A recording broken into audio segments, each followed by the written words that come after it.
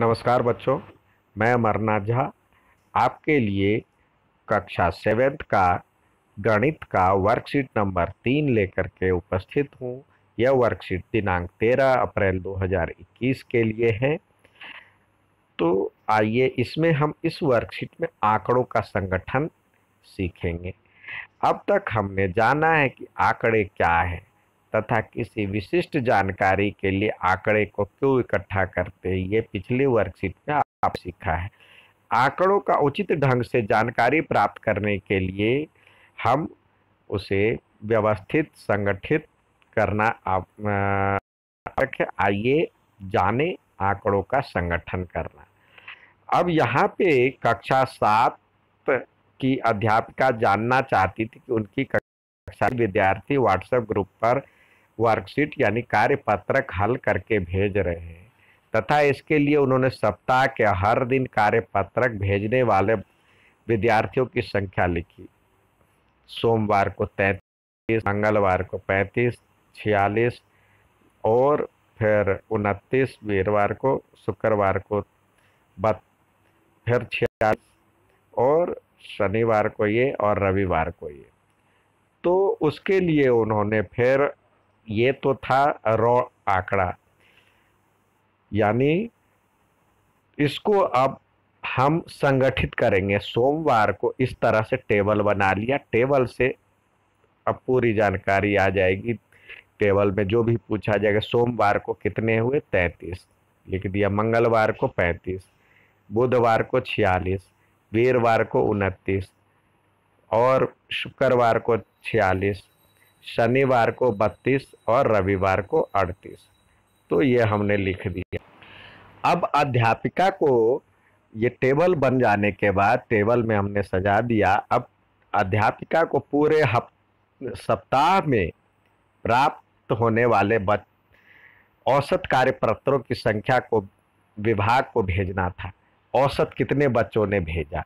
तो औसत जानने के लिए अध्यापिका क्या करती है? कार्यपत्र सभी कार्यपत्र को जोड़ती है। यानी thirty three thirty five forty six thirty nine twenty nine four forty six thirty two और थर्टी एट और कुल कितने दिन हैं? तो कुल सात दिन है तो सात से हमने डिवाइड कर दिया तो ये जो आया सात मैडम सात से डिवाइड कर देती है तो जो इसको हम कहते हैं माध्य आंकड़ों का योग, यानी सभी आंकड़ों का जोड़ निकालेंगे और जितनी संख्याएँ एक, दो, तीन, चार, पाँच छः सात से भाग दे दिए तो ये माध्य कहलाता है। इसको औसत भी कहते हैं। अब विद्यार्थियों ने जाना कि बुधवार और शुक्रवार को, बुधवार और शुक्रवार को एक जैसे अंक प्राप्त किए मतलब एक जैसे बच्चों ने वर्कशीट भेजा लेट लौटाया। तो यही जो सबसे ज़्यादा बार आता है अतः सबसे अधिक बार आने वाले आंकड़ों को बहुलक कहा जाता है। जो सबसे ज़्यादा बार आता है उसको बहुलक कहा जाता है। अब यह जा, जानना हो कि कौन से तीन दिन पैंतीस से कम और कौन से तीन दिन पैंतीस से अधिक बच्चों विद्यार्थियों ने कार्यपत्रक लौटाए? तो इनके लिए बढ़ते या घटते क्रम में सजाना होता है। अब हम सजाएँगे, बढ़ते या घटते क्रम में तो सबसे पहले जो पहला है, उनतीस लिखेंगे। फिर दूसरा है बत्तीस। बत्तीस लिखेंगे। फिर तैंतीस है, तैंतीस लिखेंगे। फिर क्या है? छियालीस पैंतीस है। पैंतीस लिखेंगे। फिर छियालीस दो बार है। एक बार और दो बार तो छियालीस लिखेंगे। छियालीस छियालीस और छियालीस। और आ, एक बार इससे पहले अड़तीस था तो ये लिख दिए। अब कहता है जो कि ये हम घटते या बढ़ते क्रम में सजा लेंगे। फिर एक बार देखिए क्या हम।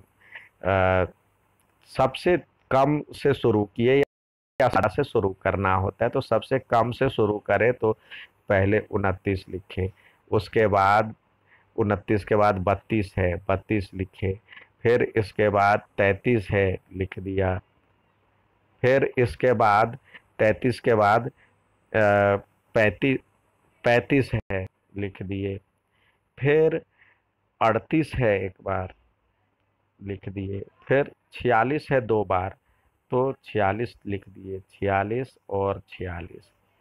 अब कह रहा, ठीक बीच में कौन पड़ता है? तो हम इधर से एक, इधर से एक काट। इधर से दूसरा दूसरा। इधर से तीसरा और तीसरा। ठीक बीच में क्या पड़ा पैंतीस। यदि कई बार तो ये इसका माध्यक कहलाएगा। माध्यक यानी ठीक बीच में। यदि एक और संख्या लेते अब कोई और संख्या लेते हैं आपके साथ। अब जैसे एक है, दो है, तीन है, चार, पाँच, छ, सात, आठ। आठ ले लिए, संख्या ले लिए तो इसका माध्यक क्या होगा? तो देखिए, इधर से एक कट, इधर से एक, दूसरा दूसरा, तीसरा तीसरा। अब दो संख्या बचता है तो दोनों को जोड़ देंगे। चार और पाँच, नौ।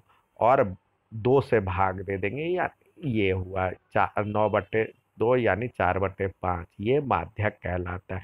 यानी ये यदि जोड़े वाला सम संख्या हो तो बीच की दोनों संख्याओं को जोड़ देंगे, दो से भाग देंगे, ठीक है?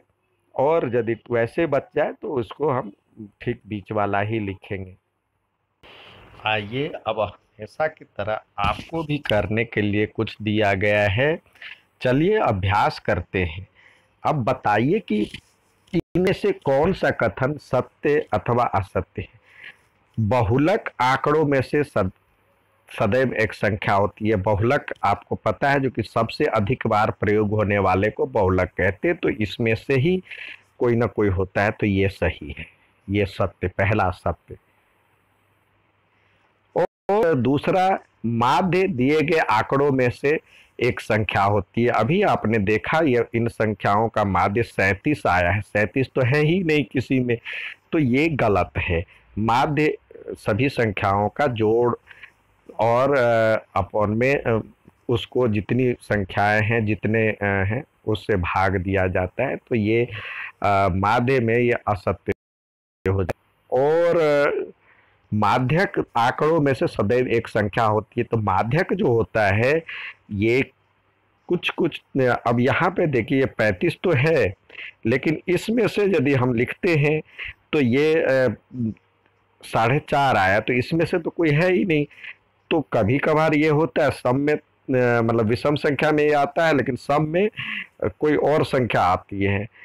तो क्योंकि उस जो दो संख्या बच जाती है, उसका औसत आता है तो ये गलत है, ये भी तीसरा भी असत्य है। अब हम दूसरा करते हैं, इसमें दिया हुआ है जो कि इसको करने के लिए आप सबसे पहले अपनी शान लगा लें कैसे क्या करते हैं, देखिए, और इसी का फिर आंसर देने में आपको सहायता होगी। तो सबसे पहले छोटे से बड़े के रूप में सजाएँगे। तो आ, सबसे पहले एक आया तो हमने लिखा एक। फिर क्या है? दो है। एक बार दो बार दो है। तो हमने लिखा दो दो बार। फिर तीन देखते हैं। एक बार तीन तीन एक ही बार है लिख दिए। जो यूज़ कर रहे हैं उसको काटते चले। चार कितनी बार? एक बार दो बार और तीन बार। तो लिख दिए चार तीन बार। एक दो तीन बार। पाँच कितनी बार है? एक बार, दो बार, तीन बार, चार बार और पाँच बार। तो पाँच बार पाँच लिख दिए। एक, दो, तीन, चार और पाँच। अब छः कितनी बार है? एक बार, दो बार, तीन बार और चार बार छः है। दिया हमने चार बार छः एक, दो, तीन और चार। अब, सात कितनी बार है देखते हैं, एक बार और दो बार। इस तरह से हम करेंगे तो कोई संख्या छूटेगी नहीं तो सात दो बार दिया अब आठ कितनी बार है? एक बार। एक बार है आठ तो और नौ एक बार है तो नौ भी एक बार है तो लिख दिया आठ और नौ। एक बार आठ और एक बार नौ। अब कह रहा है जो कि इन आंकड़ों का परिसर ज्ञात करें तो परिसर क्या होता है? परिसर होता है सबसे छोटी और सबसे बड़ी संख्या का अंतर। तो परिसर जो होगा परिसर होगा सभी संख्याओं को जोड़ करके उसको सॉरी बड़ी संख्या में से छोटी संख्या घटाएँगे तो नौ में से आठ गया नौ में से आ, आ, एक गया नौ में से एक गया तो हो गया आठ। तो ये आपका परिसर हो गया। अब माध्य माध्य बहुलक और माध्यक ज्ञात करना है। तो पहले हम बहुलक ज्ञात कर लेते हैं। बहुलक जो सबसे ज़्यादा बार आता है, उसको हम करते हैं। तो बहुलक देखते हैं जो कि पाँच सबसे ज़्यादा बार आया है। तो ये पाँच आ गया। अब माध्यक के लिए जो होता है, ठीक बीच जो वो माध्यक कहलाता है। तो इस हम इधर काटते चले एक, दूसरा कलर ले लेते हैं। एक दो, तीन, इधर से दूसरा कटा, इधर से तीसरा कटा, इधर से भी चौथा इधर से, चौथा इधर से, पांचवा पांचवा, छठा छठा, सातवा सातवा, आठवा आठवा, नौवा नौवा। कुल बीस अंक है तो ये, अब, माध्य क्या होगा? ये, बीच की दो संख्याएँ बची। तो पाँच प्लस पाँच बटे दो तो पाँच प्लस पाँच बटे दो यानी पाँच। क्योंकि पाँच पाँच दस बटे दो यानी पाँच ही आएगा तो ये इसका माध्यक होगा। अब बहु माध्य ज्ञात कर रहे हैं तो सबको जोड़िए। अब सबको जोड़िए तो देखिए हम लिखेंगे पहले एक जमा दो दो दो बार है, फिर तीन एक बार है, फिर चार, एक, दो दो है, फिर पाँच है, पाँच बार। पाँच प्लस पाँच प्लस पाँच प्लस पाँच, और छः है चार बार। प्लस छ प्लस छ प्लस छ प्लस छ। सात दो बार। सात सात। आठ एक बार।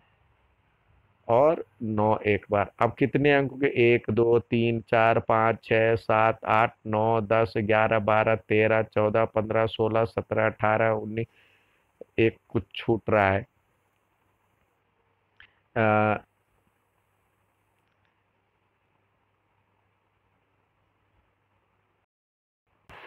ये पाँच पाँच बार है तो हमने गलती से पाँच चार बार ही लिखा था।